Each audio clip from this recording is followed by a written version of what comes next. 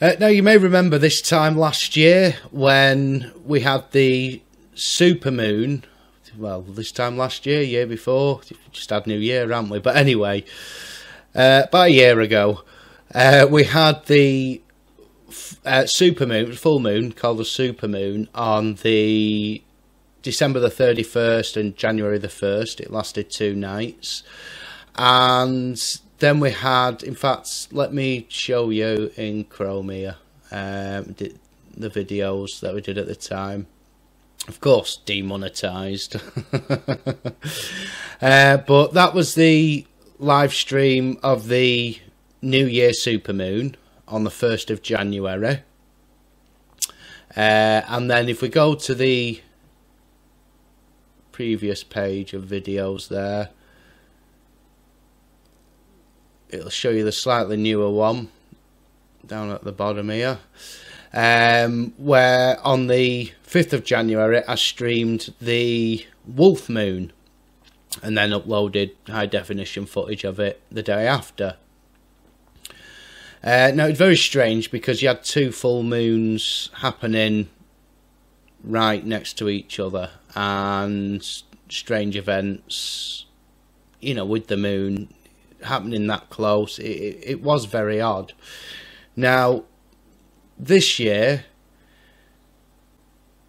we've not got two full moons together, but what we have got is this was the last full moon we had. This was the 22nd of December.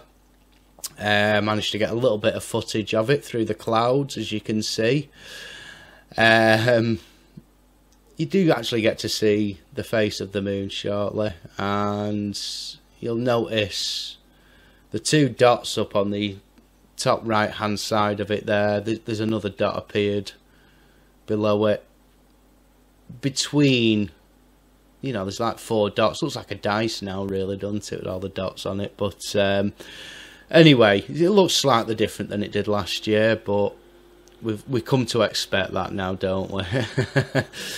Uh, well, this year it's a month until the next full moon, uh, which again is going to be a wolf moon. Now we'd we'd never heard of this before last year, a wolf moon, uh, and it was said at that time that this will be you know the last wolf moon in in so long. You know we will never see it again, and all this palaver. Well, got an interesting story here. Uh, coming up on the 20. What does it say here? The 20, 20th and the 21st. So a day less than when it was last the full moon. Um, we, we're going to have another blood moon, but this one comes with a twist of its own. A super blood wolf moon eclipse will turn the sky red in January 2019.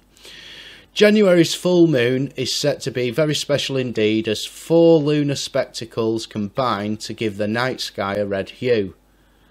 How many times are we getting this combining of, of moon events coming together? It's it's it's something that never used to happen, uh, and here it seems to happen several times. I mean, I've, I've done other videos throughout the year last year of, you know, where they've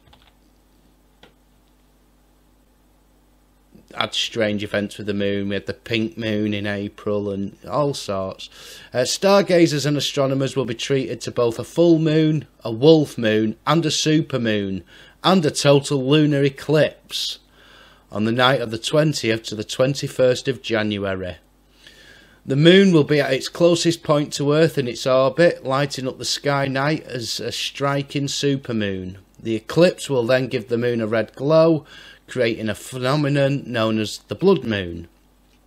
January's full moon has been known as a wolf moon for thousands of years unless you're affected and it's for two years, but there you go.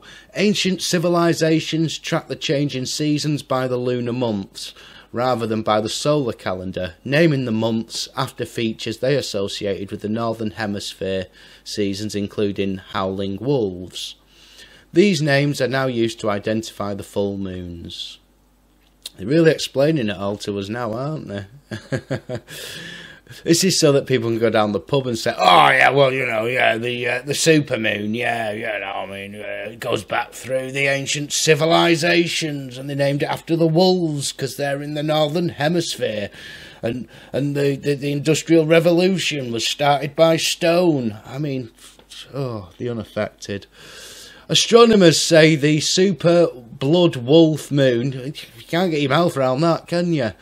Eclipse will last around three and a half hours, and a full lunar eclipse will not be seen again until May 2021. Well, we know that's a lie. I'll bet you we have one in six months, and and they'll say, "Oh yeah," and you'll not see this again until they keep doing it. They keep telling us we won't see these things again for years and years, and then all of a sudden it's there again. 2019 is set to be an exciting astronomical year. Five eclipses, a stunning meteor shower, a rare planet transit, and a blue moon will all feature. Yet another blue moon. They used to be as rare as, well, blue moons. Um, it's and and this is just what they know about now. Now, as we found last year, they they were saying you know that things wouldn't be seen for so much time into the future again. We're never going to have another eclipse again for another so many years, and then we had eclipse after eclipse. Well, this year is set to be quite a lot of phenomenon going on in the sky, uh, in particular with the moon, but you know, meteor showers and, and this rare planet transit. Um, every time, if you think back to the 2nd of December, I think it was, just gone, um, there was a object passing between the moon and Earth. Uh, it's the closest that any any asteroid or meteorite has travelled ever to the Earth. We have these every single year now. Um, I I generally get alerted to them from the Dabu Seven channel. I do I do like his channel. I mean he's he's well into the um, the news propaganda and everything, but uh, he calls a lot of it out. So I do, I do like what he does. Uh, but on that particular event on the 2nd of December, uh, we did have a meteorite, asteroid. You know, different places call it different things for some reason. Uh, but it, it, did pass through, and I, I, we, we had a huge shift that night. That, that was one of the big shifts that we had.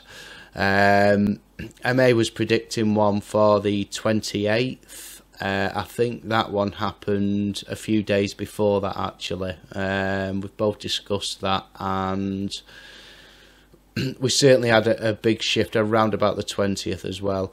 Um, I do think we'll probably have a shift around about this blood moon as well. Uh, we do seem to shift around moons, um, you know, like moon events and that.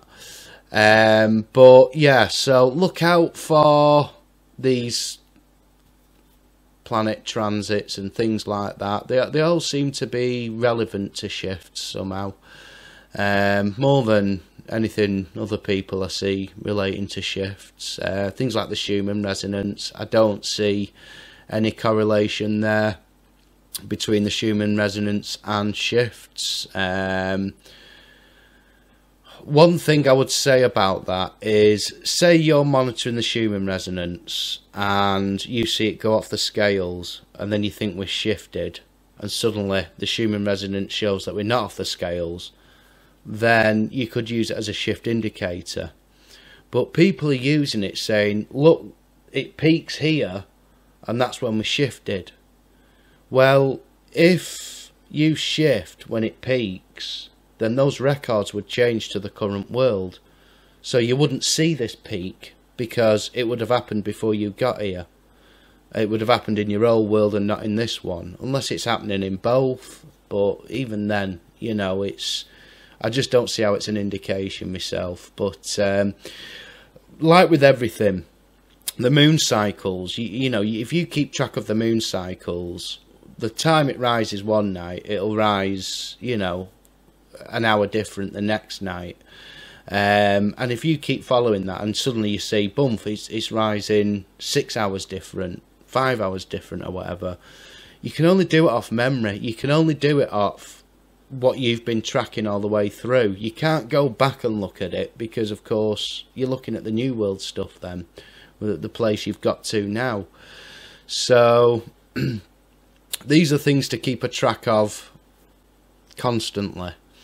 Um, I'll I'll be updating on this, and I might live stream on the night. Actually, if I've got clear skies, I will.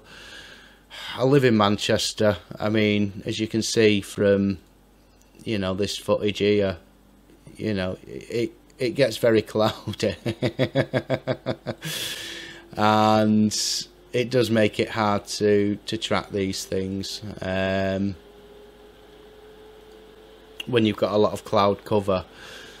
So I will try and get footage of this. Um, if I can't, then hopefully somebody who does get the footage uh, will be good enough to pass it on to me. Um, and if it's a bit sporadic, I'll just film it and get a video up as soon as I can after it. But um, it, it's yeah, keep an eye out this year for astronomical events. Uh, they do seem to tie into shifts quite a lot. I'll leave you some footage of this moon, should I? it's gone. No, it's back.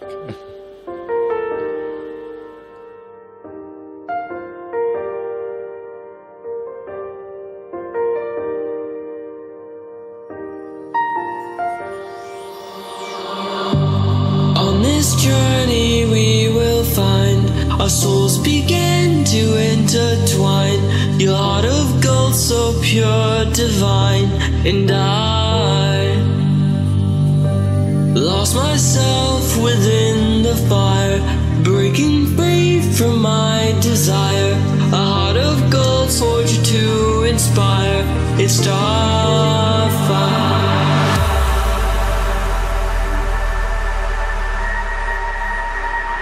It's Starfire,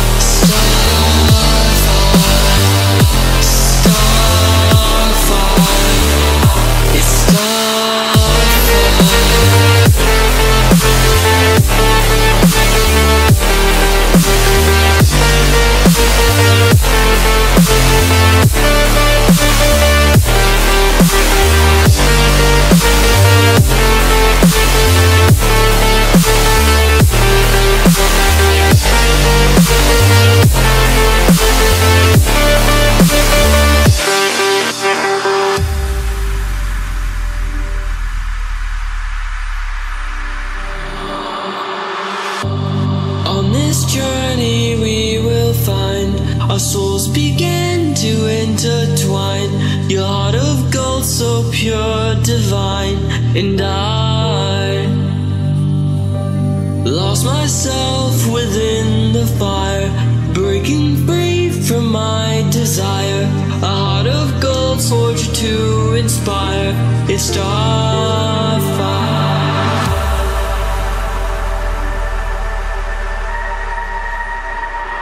Time.